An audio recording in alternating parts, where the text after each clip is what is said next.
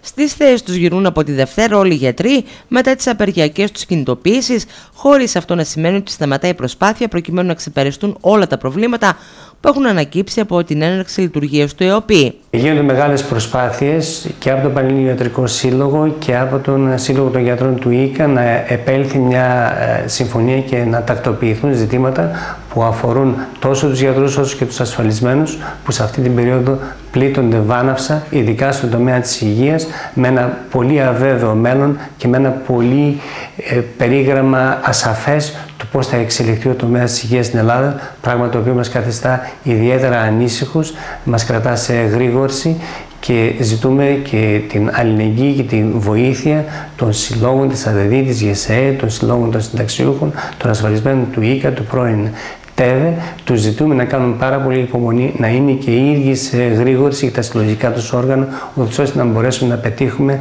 το θετικότερο δυνατόν για τους ασφαλισμένους και για την υγεία στη χώρα μας. Πάντως, ο ιατρικός κόσμος τελεί σε κατάσταση αναμονής προκειμένου να δει τις βελτιωτικές κινήσεις από πλευράς κυβέρνησης και να καθορίσει αναλόγως τη στάση του. Ο Παλαινή Ιατρικός και ο τοπικός μας σύλλογος, με συνέστηση ευθύνης που έχει απέναντι στο κοινωνικό σύνολο, πρότεινε και έγινε αποδεκτή η αναστολή αυτή τη στιγμή των κινητοποιήσεων σε μια προσπάθεια να λυθούν τα προβλήματα που συσσωρεύτηκαν αυτές τις ημέρες των απεργιών τα προβλήματα των ασφαλισμένων, των θεραπείων τους, ε, των εξετάσεων που έχουν να υποβληθούν.